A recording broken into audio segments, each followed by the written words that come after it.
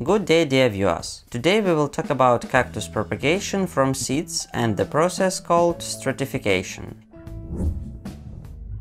In order to sprout the seeds of some species of cacti, such as notocactus or sclerocactus, they must undergo a period of stratification. Cold stratification is the process of subjecting seeds to both cold and moist conditions. Seeds of many trees, shrubs and perennials require these conditions before germination will ensure.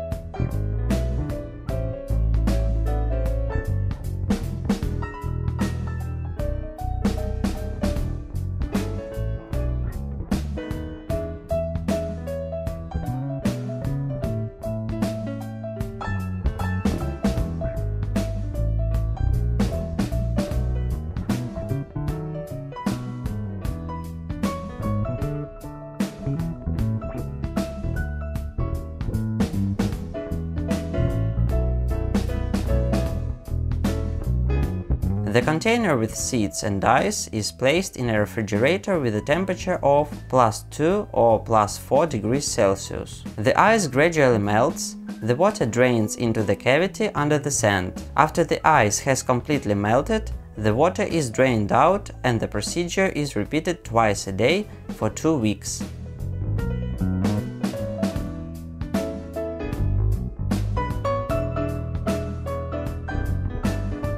After the stratification process, we put a plastic bag on a container with seeds and place it in a bright and warm place. 10 days after the stratification process.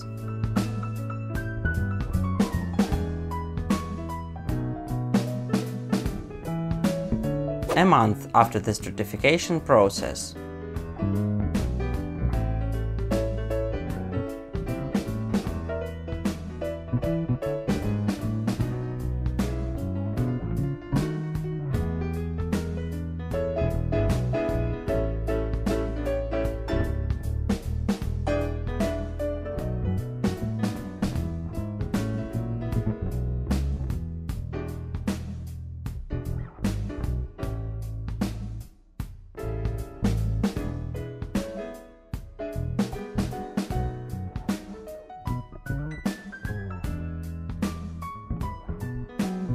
From October, we provide the recommended winter care conditions for seedlings. Other experiments on seed scarification or freezing did not give an additional increase or decrease in the percentage of seed germination. If you like this video, please hit the like button below and don't forget to subscribe to our channel. See you in the next video.